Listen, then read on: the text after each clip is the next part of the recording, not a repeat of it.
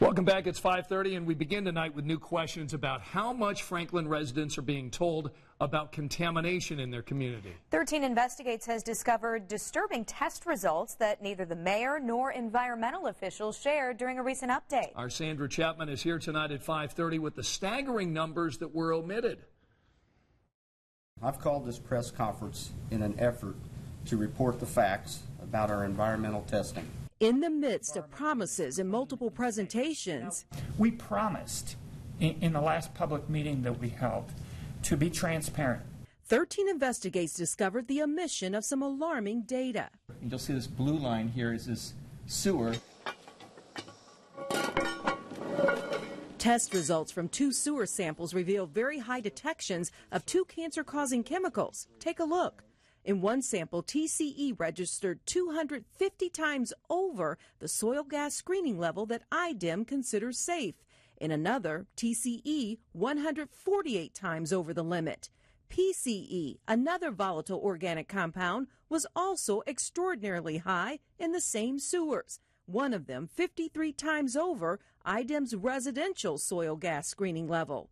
These amounts represent numbers the public has not seen in the Franklin investigation until now. But no one talked about those numbers. The problem area at Hamilton Avenue and Forsyth Street was simply called an environmental impact. And we are focused on this uh, sewer lateral right here that did show elevated levels, not within the sewer necessarily, but on in the soil gas and in, in one groundwater sample. This right here, this is about the size of the contamination that's been found.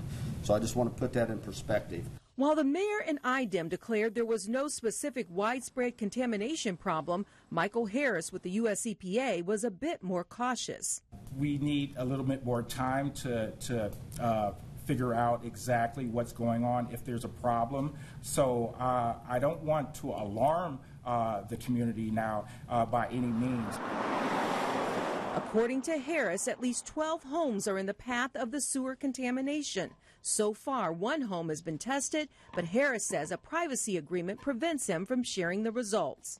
These contaminants may be giving off vapors that can seep into people's yards or homes. When asked point blank if the contamination was unsafe, Mayor Barnett did not mention the numbers or punt to the experts who could answer. I'm not the expert to say, is it dangerous? I've been told it's not dangerous.